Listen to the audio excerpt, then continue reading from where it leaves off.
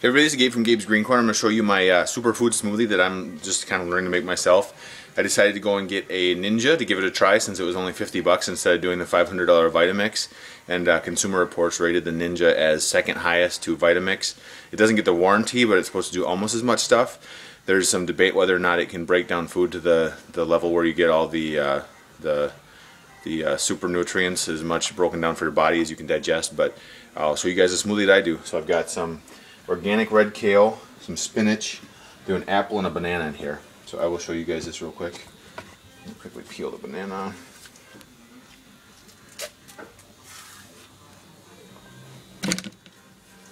I'm gonna break that in half, throw it in there. Break it in half the banana. Throw that down in there. I got a little bit of water, about a half of a bunch of kale. Now for the apple, I'm just gonna slice it in half.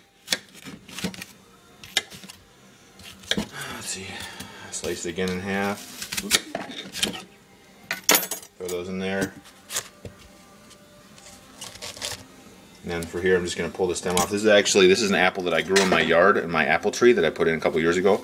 And I finally got three apples, so it's exciting to be able to make uh, a smoothie out of the apples that I grew in my own yard.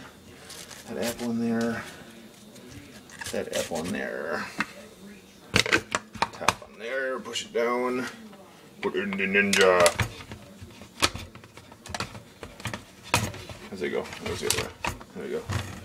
Alright, now the Ninja is just a pulse blender, so you just, watch this.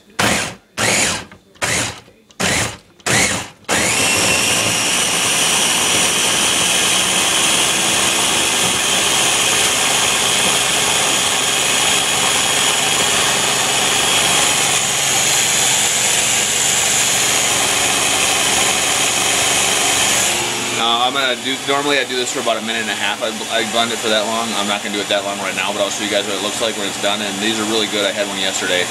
Uh, my second day of making them, uh, but it's one of the best ways you can get organic red kale, which is pretty much the number one superfood you can do. I put in the kale, um, about eight ounces of water, uh, quarter of a bag of green spinach, an apple and a banana. They turn out pretty darn good with no sweeteners. Um, you have to be used to drinking that kind of stuff though, which I am because I normally do green juices. So.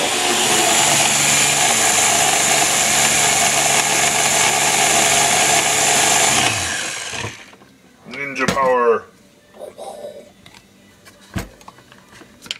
And there we go. Green juice super smoothie. Mmm. Very good. It's not quite liquefied yet though, so I'm going to do a little more, but very good.